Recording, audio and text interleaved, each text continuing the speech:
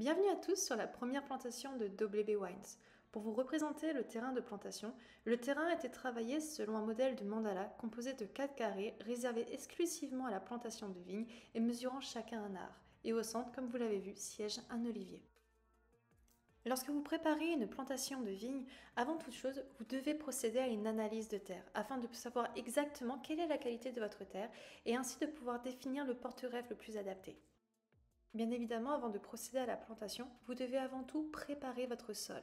Dans le cas présent, vous devez vous poser la question mais pourquoi est-ce que j'utilise une bâche? En fait, on s'est rendu compte que sur ce carré-ci et un peu sur l'autre carré, j'ai la présence d'une mauvaise herbe qu'on appelle le liseron. Et le liseron, c'est une mauvaise herbe avec des racines qui vont profondément dans le sol. Donc j'espère pouvoir contenir sa progression avec l'utilisation de cette bâche. Avant de vous parler plus en détail de la plantation, est-ce que vous savez à quoi ressemblent des plants de vigne lorsque vous les recevez? Non? Suivez-moi, je vais vous montrer.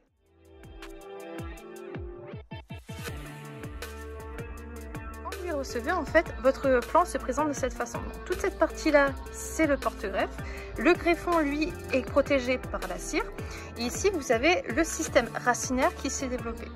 Grosso modo, moi, quand je vais le, planter, je vais l'enterrer jusqu'à ce niveau-là à peu près. Je vais couper avant ça au préalable quelques centimètres euh, des racines. Couper les racines avant de les planter. Quelle idée bizarre. Et pourtant, je peux vous assurer que c'est ultra bénéfique pour les vignes. Car en effet, ça va permettre à ce que les racines ne repartent pas vers le haut, qu'elles repoussent d'elles-mêmes et surtout qu'elles ne s'enroulent pas sur elles-mêmes et ne s'auto-étranglent pas.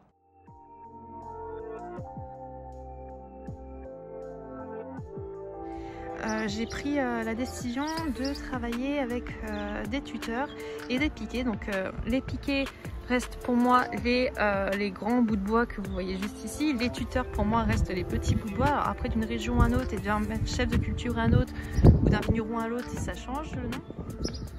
Et voilà, donc je vous ai sélectionné ce plan là pour pouvoir vous le montrer. Comme vous avez vu, j'ai laissé la partie avec la cire bien dépassée et je, je l'ai enterré. J'ai pas oublié de, de l'arroser.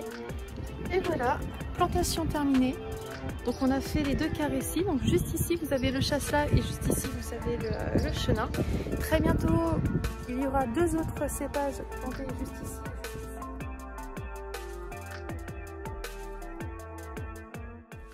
Il y aurait tellement à dire sur le projet de la plantation. Mais je pense que le plus important, c'est de vous redire encore une fois qu'il s'agit réellement d'un projet familial, étant donné que je suis épaulée par mon papa.